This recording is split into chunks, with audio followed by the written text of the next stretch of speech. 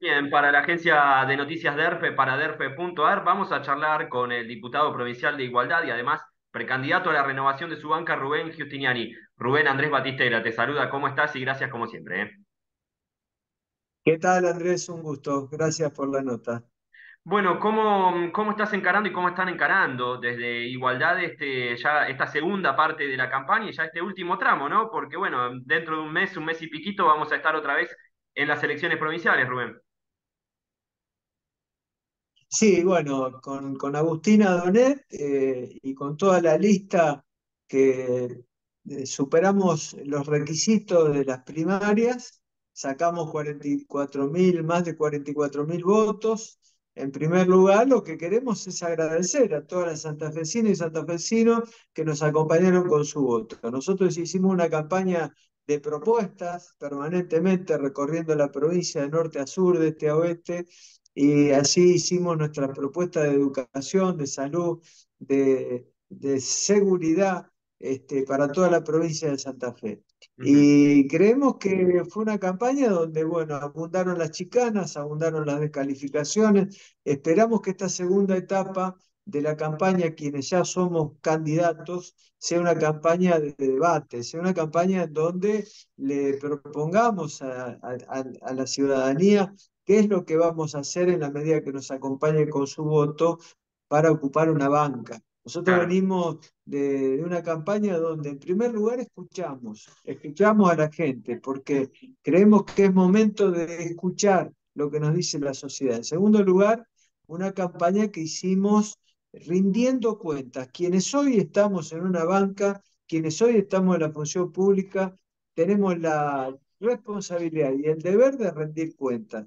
Y en tercer lugar, las propuestas. Las propuestas que en definitiva son nuestro compromiso con la sociedad si la sociedad nos acompaña con su voto. ¿Crees, eh, Rubén, que, que, la primera parte de la campaña, la de las pasos, se, se, la comió de alguna manera la interna entre Puyaro y Carolina Lozada? Porque el bombardeo este, visual inclusive fue, este, bueno, contundente.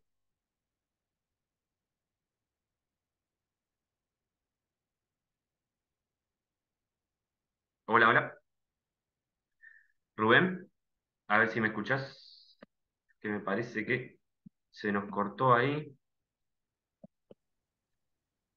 Ahí retomando eh, la conversación con Rubén Giustiniani, te preguntaba Rubén si en las PASO quizás la interna de Juntos por el Cambio se terminó comiendo la, la atención de buena parte de la gente.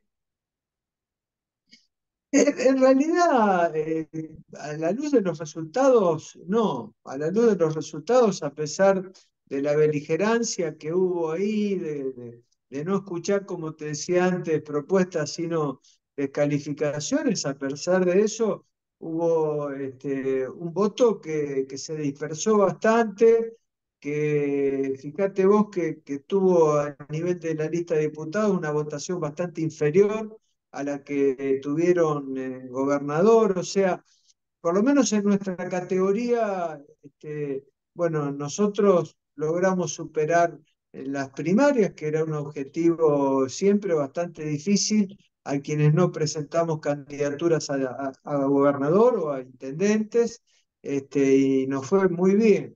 Pero, pero bueno, quizás eh, la atención pública, lo que vos decís, a lo mejor sí, a lo mejor vende mucho también en los medios de comunicación más concentrados desde la capital federal y demás, este, la, dialéctica de, tirar bombas, de, calificaciones personales y no de discutir los problemas estratégicos que tiene el país, que tiene la provincia de Santa Fe, que tiene las localidades del interior. Quizás en ese sentido tira, tira más títulos una descalificación personal que una propuesta concreta, un compromiso concreto en educación o en salud. Claro.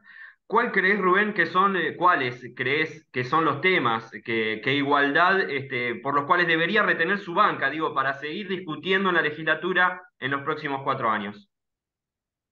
Mira, Andrés, nosotros estamos convencidos, lo hemos hablado muchas veces con vos, con Agustina Donet, es que hay muchos temas que no hubieran llegado a la legislatura provincial sin la presencia de igualdad. Esto en primer lugar queremos remarcar.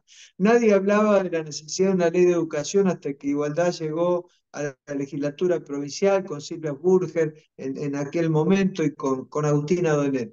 Eh, Agustina Donet fue quien eh, tuvo que poner la plantita arriba de la banca este, para que la ley de cannabis avanzara y para que hoy la provincia de Santa Fe diera la respuesta desde el laboratorio este, estatal para que hoy las mamás cannabis tengan una respuesta concreta de la provincia de Santa Fe. Y esto es muy importante porque eh, los hijos y las hijas de, las mamás cannabis no tenían la posibilidad de hacerse, de que le llegara este, esta respuesta. Y, fue eh, poner en la agenda de la manera que Igualdad lo hizo. Eh, nadie hablaba del tema de acceso a la información. Yo, como senador nacional, había logrado destapar el contrato IPF Chevron, demostrando la existencia de este, empresas offshore radicadas en paraísos fiscales. Eh, hoy el tema energético es un tema fundamental. Se habla mucho de los subsidios a la gente humilde, no se habla de los gigantescos subsidios que se llevan las petroleras internacionales, multinacionales. Entonces, todos estos temas fueron posibles incorporarlos a la agenda por la existencia de igualdad. Por eso yo creo que eh, es fundamental eh, que Igualdad mantenga su presencia, sus bancas en la legislatura que viene, porque es una legislatura que tiene que abordar temas pendientes todavía, como lo es la ley de educación provincial la ley de educación sexual integral que todavía este, no se aprueba en la provincia de Santa Fe, una vergüenza, porque del año 2006 existe una ley a nivel nacional. Temas esenciales como hacen al tema de los alquileres. De la provincia puede aportar mucho, que de igualdad hemos logrado una media sanción para eliminar los sellos, la, la ley de sellos, ese impuesto absurdo que eleva el costo a quienes tienen que, tienen que hacer un contrato de alquiler. Eh, cosas inadmisibles que son eh, importantes, eh, herramientas importantes que de la legislatura provincial se pueden resolver. La seguridad, una ley de, funcionamiento policial que, que, la política tradicional no, discute, habla mucho de la, de la inseguridad, pero al momento concreto no da la respuesta que desde la legislatura se tiene que dar. Así que eh, yo considero que es muy importante eh, reafirmar y agrandar la presencia de bloques como el de igualdad para eh, que hay temas que el status quo provincial no quiere discutir. Eh, Rubén, ¿crees que el hecho de que las pasos nacionales estén en el medio va a nacionalizar un poco la discusión?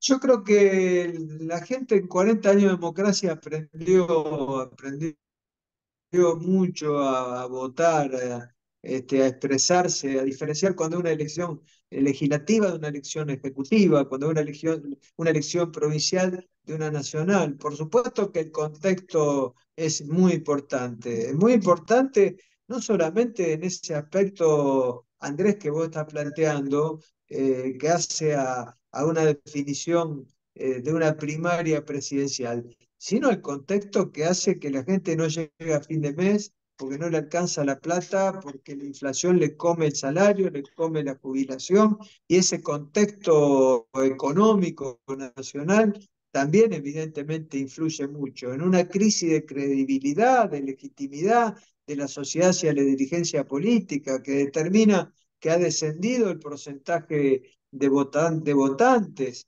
Este, eh, creo que son el contexto evidentemente eh, nacional siempre influye también en la elección provincial. Y la última pregunta, y bueno, un poco relacionada a esto, porque la participación fue un poquito más baja en las PASO. Este, ¿Crees que va a ir más gente a votar en las generales? ¿Crees que va a haber más interés? Sí, siempre se da que en las generales, que es donde se define, cuando yo te decía que la gente aprendió este, a votar, la gente diferencia lo que es una primaria de lo que es la general. Eh, y por eso nosotros hemos planteado con Agustina la eliminación de las pasos. Nosotros creemos que, que, las pasos no tiene sentido, puede trasladarle la elección de candidatos. Fíjate vos lo que costó una elección este, prácticamente general, como fue la primaria esta que, que termina, y en donde hay un proceso de selección donde quedan eh, fuerzas políticas totalmente sin posibilidad de competir ahora en la general. Eh, un verdadero absurdo y trasladarle al votante eh, la definición de la... Recién ahora nosotros somos candidatos, después de toda una campaña, después de toda una elección.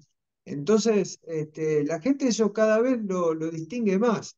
Entonces, hay un sector de la sociedad que dice, bueno, pero la definición de las candidaturas que hagan lo, lo hagan los propios partidos. Entonces, eh, yo creo que va a ser una, este, una votación mayor la que va a haber en las generales, siempre también con ese contexto que antes definíamos, de esa crisis de representatividad, de legitimidad y que determina que mucha gente tome como decisión política de no ir a votar porque no se siente representada. Creo Claro, que eso también existe. claro.